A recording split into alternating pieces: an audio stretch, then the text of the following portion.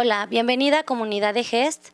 Nosotros venimos de la Secundaria Técnica 58 y estamos con ustedes para abordar el tema equidad de género. Les presento a los integrantes del panel. Emilio, Valentina, Renata, Jessica, Jimena. Y cedo la palabra a quien será nuestra moderadora el día de hoy, Jimena. Buenos días, nos sentimos muy distinguidos al estar aquí con todos ustedes.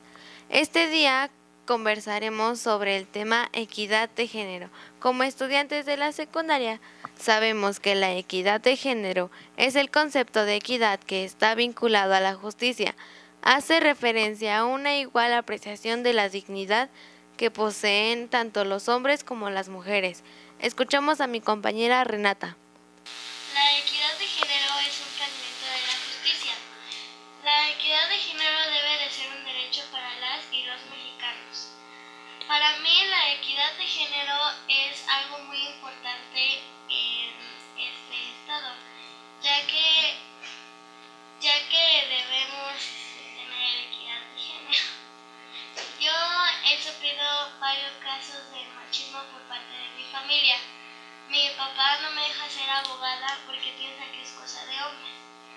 Ahorita en estas partes se ha, se ha dado muchas ayudas a las mujeres y nunca a los hombres. Los hombres también podrían necesitar ayudas de, porque podrían ser solteros o podrían ser viudos. Muchas gracias por tu opinión. Es acertada y valiosa. Le solicito a nuestro compañero Emilio que nos dé su postura. La equidad de género implica que tanto hombres como mujeres recibamos un trato justo, igualitario y sin violencia. Se calcula que alrededor de 3.285 mujeres han sido violentadas o asesinadas. En la República Mexicana se trata del 59%. ¿Por qué es importante la equidad de género? La equidad de género implica, la equidad de género, su importancia radica en otorgar a millones de niños y mujeres este, derechos humanos fundamentales y también es importante para una sociedad más justa y sana. ¿Qué problemas hay en la falta de equidad? La falta de equidad podrá causar entre desigualdad, discriminación, poder desequilibrado entre hombres y mujeres, rezago económico a todos niveles y distintas manifestaciones de violencia. Mi opinión es que tanto hombres como mujeres deseamos un trato justo, igualitario y sin violencia, porque los prejuicios siempre ponen el papel del criminal al hombre, ya que si una mujer maltrata o golpea a su esposo, no pasa nada.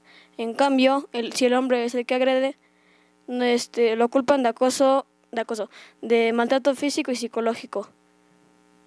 Eh, el otro día me, me, tocó vivir una experiencia en la que un vecino le empezaba a amenazar a su esposo con palabras de que ella tenía que hacer todo, solo porque él es mujer, tenía que alimentarlo, darle de comer, darle de comer, lavarle y hacer todo lo que él ordene. Y yo me quedé en shock y dije, ¿por qué hay tanto machismo en esta comunidad?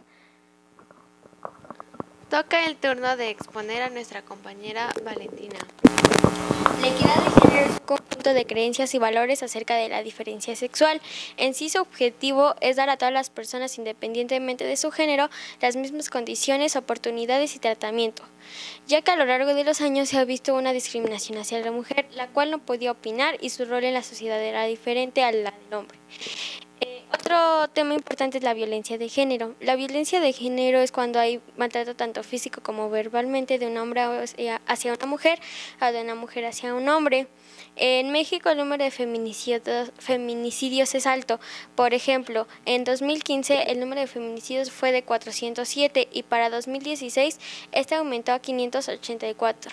Como es de imaginarse, el número fue aumentando más y nunca vimos que bajara. Es por eso que las mujeres dan una solución y salen a manifestarse.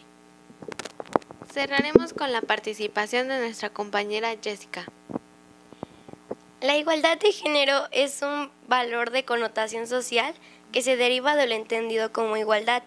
Este busca la promoción de la, de la valoración de las personas sin importar las diferencias sociales, culturales o de género que se presenten entre sí.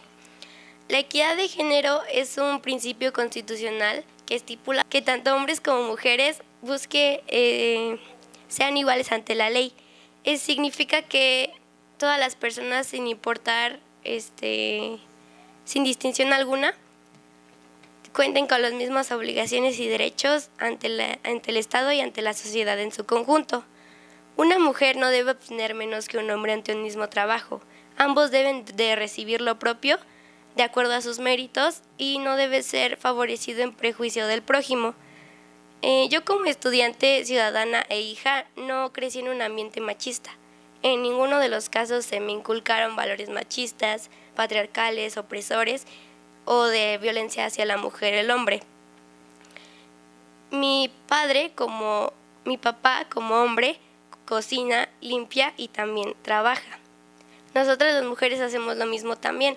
Entonces, nuestra familia es una familia de pensamiento libre y que promueve siempre las opiniones críticas y sí, las opiniones críticas y sociales de la gente. A lo largo de mi vida yo he visto publicidad y bombas de información que muestran lo gravísimo que es el asunto contra la violencia de la mujer. Entonces, no solo eso, también posicionan a la mujer como la única víctima de la sociedad y no solo en el ámbito familiar ni en el de pareja, sino también en el cultural y en el laboral. Y a lo largo de mi vida yo he conocido a mujeres que tratan a sus parejas a través de golpes y de amenazas, por lo que nunca vi que a esa mujer se le fuese sentenciada algún tipo de consecuencia. Por lo que siento que si a un hombre hiciera lo mismo, mm, no a ese a él como es un hombre sí le fue sí le lo acusarían de ser un maltratador y, eso. Entonces es una doble moral que a todos nos inculcaron desde pequeños de, de algún modo. Retomando lo que Jessica nos acaba de exponer, me gustaría conocer su opinión acerca de los roles de género. ¿Qué opinan de estos roles ya establecidos por la sociedad acerca de si eres un hombre o eres una mujer? ¿Quién nos expone su punto de vista? Bueno, está muy mal porque no todo tiene que ser así como se dice. Como se dice, porque puede haber distintas cosas no fuerzas tienen que ser como ellos dicen que una, un hombre tiene que ser el más fuerte y el más hombre, entre comillas, porque no solo que hagan cosas y que digan cosas los hace más hombres, y las mujeres que sean menos fuertes y que solo sirvan para la casa, está muy mal. Emilio, como el único integrante varón de nuestro panel, platícanos, ¿qué es para ti eh, formar parte de el mal llamado sexo fuerte? Bueno, para mí el sexo fuerte es me pone muy mal, de mal gusto, porque si un hombre llora o habla de sus sentimientos, lo culpan de que es marica, de que es este pues sí, es marica, es gay o algo así. Y yo digo que está muy mal porque los hombres somos humanos, seres humanos, que también necesitamos expresar nuestros sentimientos. Muy bien, chicos. Agradezco a mis compañeros haber participado con nosotros, sus compartir con nosotros sus puntos de vista. Espero nos reunamos en alguna ocasión posterior. Gracias comunidad de GEST por acompañarnos.